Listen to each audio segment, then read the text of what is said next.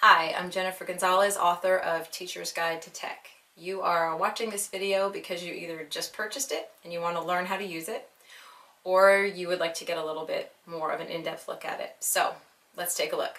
So I'm looking at this in Adobe Acrobat, but you might be looking at it in Acrobat Reader or in iBooks or in some other type of PDF reader, but that's this is what it's going to look like here. This book is broken up into five different sections. So I'm going to show you the first page of the table of contents so that you can see along the sidebar of almost every single page, you will see all five of these sections. So let me zoom in. Five sections are table of contents, getting started, the tools, the terms, and index.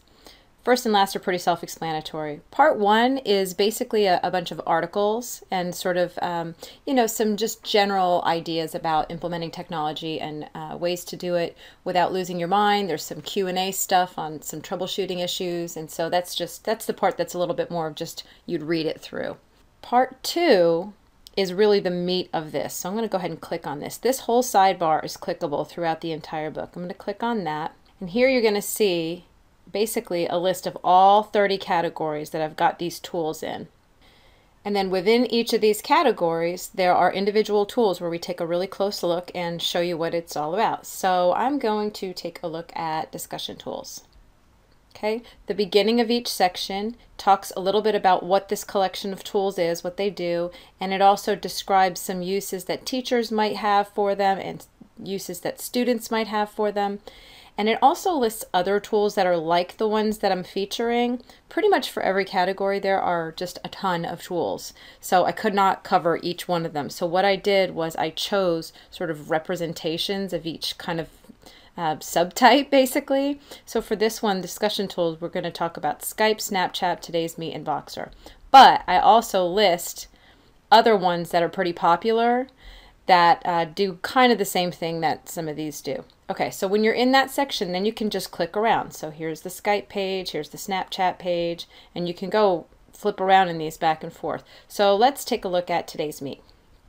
Okay, so for each tool that gets a close-up look, you know, there's a discussion of it, there is a screenshot of it, kind of in action, um, and then there are two, always going to be two links. One link takes you straight to the website, and this link will take you straight to a video on YouTube that generally will show you the, the tool in action.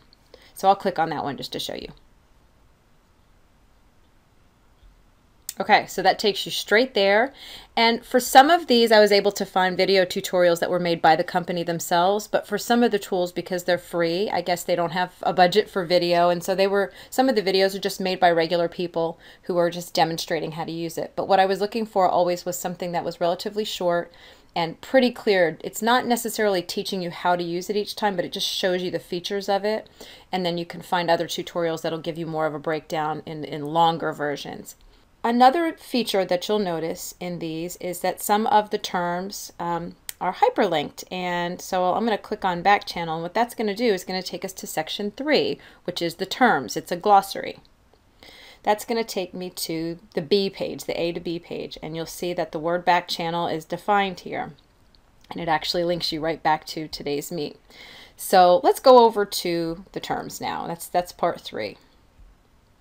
It starts with a cover page. It's broken down by all these. We'll go to QS and see. So in between or within each page, you can also link to all the other pages. I can go to the ENF page. I can go to the K&O page. This page is one of my favorite pages in the book, the Google page, because people I hear get confused. Um, they confuse Google terms all the time. So I basically just made a page that's just a breakdown of all how those things are related to each other. The other two parts of the book that I think are extremely useful are the table of contents and the index. Let's take a look at table of contents first. And the reason I think that they're useful is because they're completely clickable. If I want to look at this section called I want to blank, what do I use? I just click on it. It takes me straight there and I can read through all of those pages if I want to. If I want to find another section, I just bounce right back to the table of contents again, and I can find something else. Maybe I look here at content curation. Oh, I want to learn about Paper.li, so I click on that. I go to Paper.li. Want to go back to the table of contents? Go right ahead. So it just makes navigating through very, very quick and easy. Uh, if I definitely already know the kind of tool I want, I don't feel like paging through the whole table of contents. I can always just go to the tools, and that's this this page. I use it a lot just as I've been building the book to get around quickly because it's just really easy to get, you know, from section to section. The other part that I think is really really useful is the index, and here's why. Let me go to it. Say you hear a term and you have no idea what the person is talking about, so you wouldn't even know what category it would you would you would even fall into, or you don't even know if it's a tool or if it's just some sort of a term. So say you hear somebody talking about clickers and you don't even know what clickers are. So you can just start in the index and you can click on 153 Okay, I see something about student response systems. I see the word clicker, that's going to be defined, but I'm not sure I got, I saw that there was another number next to clickers too. So let me go ahead and go to the index. Let me click that other thing that says clickers and see if that gives me any more. Oh, okay, there's a definition in the glossary. The index is just a really fast way to uh, learn things. And I also personally find you that you can learn a lot just by browsing the index because as you go through here, you're going to see stuff that to you may not, you've never even heard of. Um, like, for example, Black Girls Code. This is an organization that really focuses on uh, teaching young African American girls how to do programming and, and to look at that as a potential career path.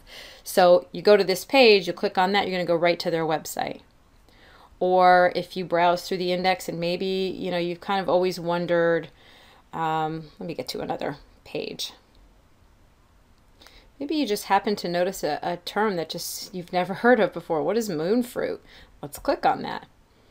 Okay, that's in the blogging and website building tool section. It's like these. It's in this list of other tools that are like those. So we can go there, learn what blogging and website building tools are, and then you know what moonfruit is. So it's just uh, my my thinking was I wanted it to be as fast as possible. I wanted you to be able to get through this quickly without having to worry about internet connection, without having to look for the best source of information. So, for example, look at this note taking. Okay, we've got Evernote and OneNote. Evidently, these two have been competing hardcore for the last year or so. So, what I also tried to find in addition to sort of the basic stuff that I provided for those two tools was I just put a list here of three really good articles that I found that sort of compare the two because in the book I don't go super in depth about any one individual tool but if there's something like this where there's like a battle going on then um, I looked for really good resources so that you don't spend a lot of time having to look that stuff up. One last section you should know about is right here, the resources and credits section. This will become especially useful if you are printing this out and looking for something. If you go here, basically anything, any external link on any page um, I provided where I actually got it from so that if you're looking at this in print and you're trying to figure out, you know, oh, she's talking about this video or there's this article, you can actually go see this is page 32. This is everything that the external links that I referred to on page 32. So this stuff isn't really entertaining reading, but it may become useful if you're trying to figure out actually what article I was referring to if you're not able to click out of it at the time. And remember, you can also print out the whole thing too. It's just regular 8.5 by 11 inch paper. I would recommend that you put it into an actual binder and even set the sections up with physical dividers because then that will sort of mimic the easy clicking that you can get with the digital version. Also remember that once you've made your first purchase of this binder, you're basically getting it for two years, all the way through to the end of 2016. Any updates that I post on there, you'll be able to download them for free. You'll just need to go to Teachers Pay Teachers, click on My TPT, and go to My Purchases. And from there, you can click on Teachers, uh, Teacher's Guide to Tech, and you'll be able to download whatever the newest version of that is. For more information, visit www.teachersguidetotech.com. Thanks for watching.